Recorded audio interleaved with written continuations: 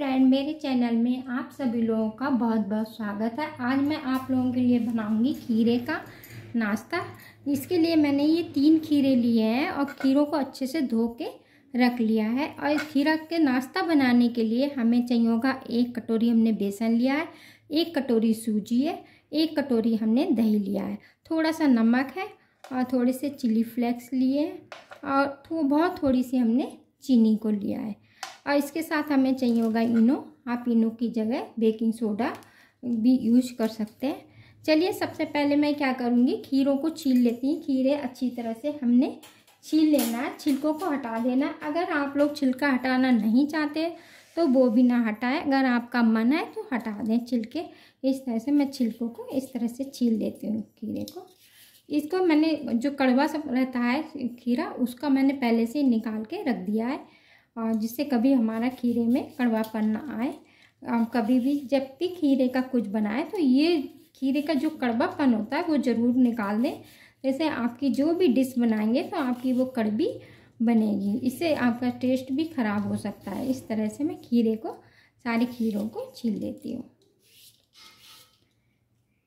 इस तरह से छील लेंगे। छीलने के बाद काटेंगे। छोटे छोटे पीसों में काट लेना है। मिक्सी का जार ले लेंगे। इसमें हम छोटे छोटे टुकड़े करके इस तरह से डाल देंगे। खीरे मैंने सारे काट के इसमें डाल लिए और इसको कवर करके हम ग्राइंड कर लेते हैं। देखिए, इस तरह से मिक्सी में ये हमने अच्छी तरह से ग्राइंड कर लिया है। ये देखिए, इस तरह से।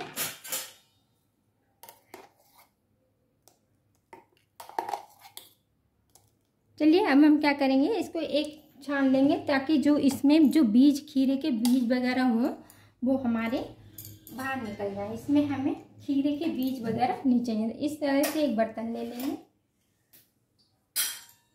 एक चन्नी लेंगे। खीरे के इसमें डाल लेंगे। ऐसे सारा निकाल देंगे। इसके जो बीज वगैरह हैं, इसमें रह जाएँगे छन्नी के अंदर हमारे।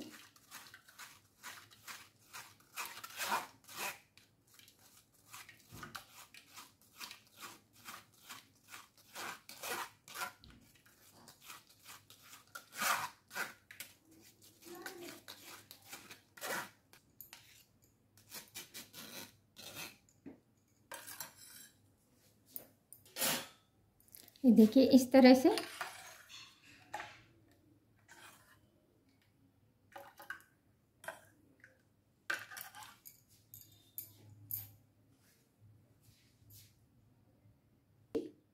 सबसे पहले डालेंगे सूजी। बेसन को डालेंगे। मिक्स करेंगे। ठीक, बनती है, टेस्टी नाश्ता बन के तैयार होगा। और खीरा तो आप सबको पता ही है, हमारे शरीर के लिए कितना फ़ायदेमंद है।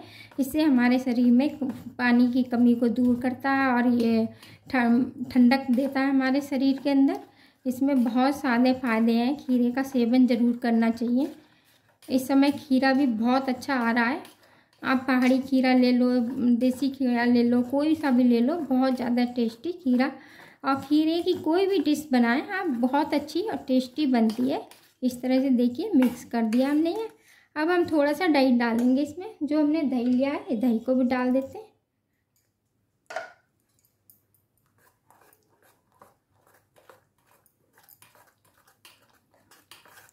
अभी सूजी हमारी फूलेगी, हमें ये पतला लग रहा है। सूजी हमने डाला है, बेसन डाला है, ये हमारा फूलेगा।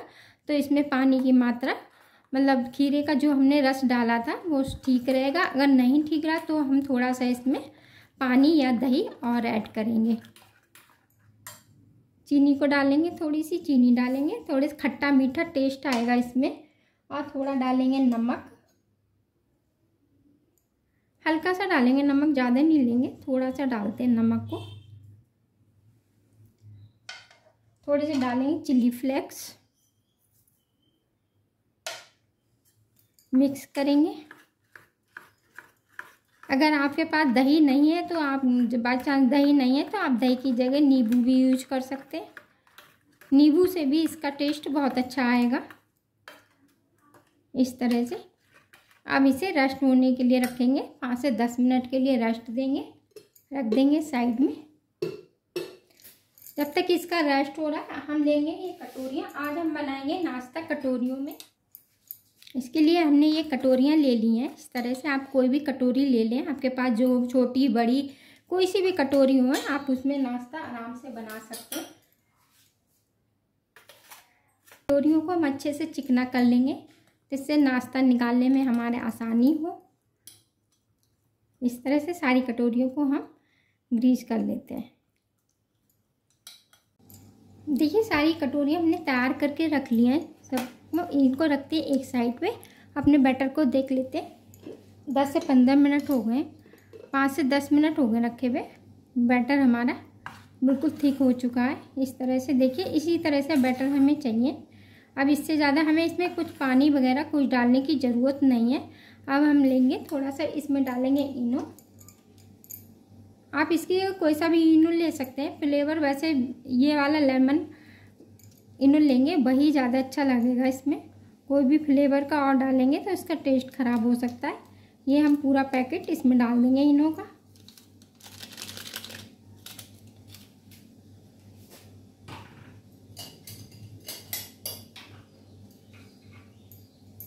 थोड़ा सा डालेंगे खीरे का पानी। इस तरह से देखिए।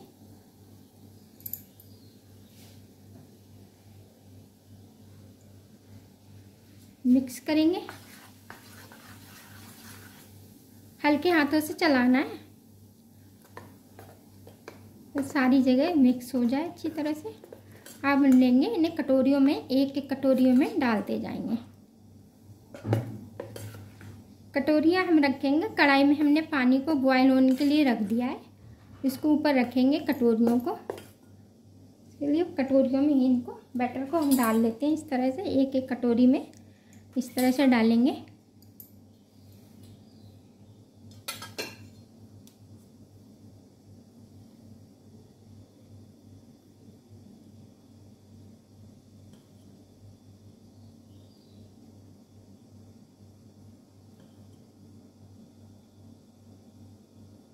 थोड़ी सी टैप करेंगे ताकि इसमें जो एयर बबल्स हो, वो निकल जाए बाहर। इस तरह से करके सारी कटोरियाँ भर लेते हैं।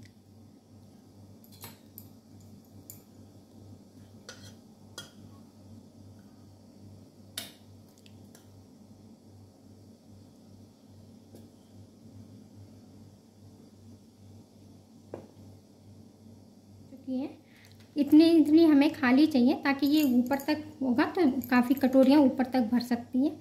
इसमें हम थोड़े से डालेंगे अच्छी लगने के लिए तो एक एक, दो दो किशमिश को लगाएँगे ताकि जो देखने में कटोरी हमारी अच्छी सी लगे।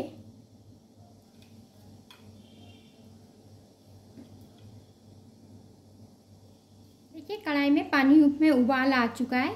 अच्छी तरह से। अब हम इसमें करेंगे, आपके पास जो भी छन्नी हो, जाली हो, कोई भी चीज़ हो, आप उसके ऊपर ढक सकते हैं। मैंने ये दूध वाली जाली ले ली है, जो दूध के ऊपर ढकते हैं। इसको हम इस तरह से इसके ऊपर रखेंगे। अब एक एक कटोरी को उठाएँगे। हमने एक एक कटोरी हम इनके चारों तरफ़ रख देंगे।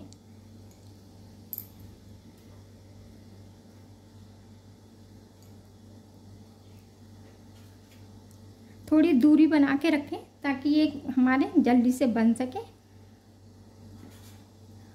एकदम सटा के ना रखें पास पास में। देखिए, दस मिनट के लिए कवर कर देंगे। बीच में चेक करेंगे कि दस मिनट हो गए रखे हुए, चेक कर लेते हैं एक बार। तीली में अगर मतलब कुछ भी नहीं लग रहा है तो इसका मतलब बन चुकी है ये, थोड़ा सा लग रहा है। अभी थोड़ी सी अंदर से कच्ची है। अभी थोड़ा सा ढकेंगे और पाँच मिनट के लिए। देखिए, पाँच मिनट हो गए, एक बार और चेक कर लेते हैं।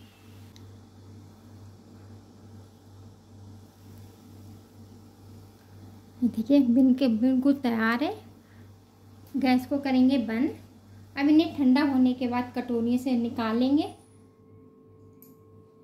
देखिए, इस तरह से सारी कटोरियाँ हमारी ठंडी हो चुकी हैं।